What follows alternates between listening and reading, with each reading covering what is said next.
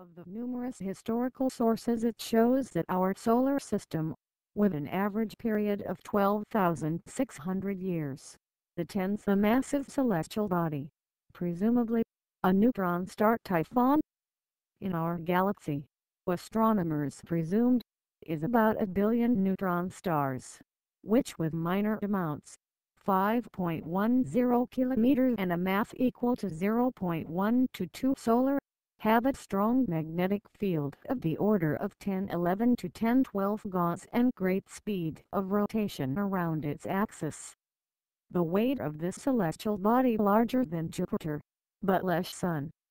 According to numerous reports, contained in ancient legends and traditions, it is accompanied by a massive body 11 satellites and an extensive trail of gas and dust.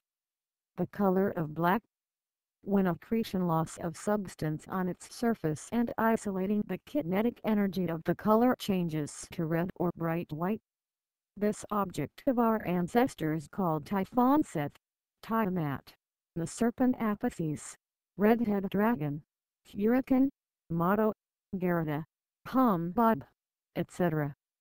This massive object bypassing your solar system gravitation inflicted catastrophic destruction of heavenly bodies, perturbing the orbits of the planets and their satellites. On the basis of the information contained in the myths and legends of ancient peoples, the neutron star four times already visited our solar system.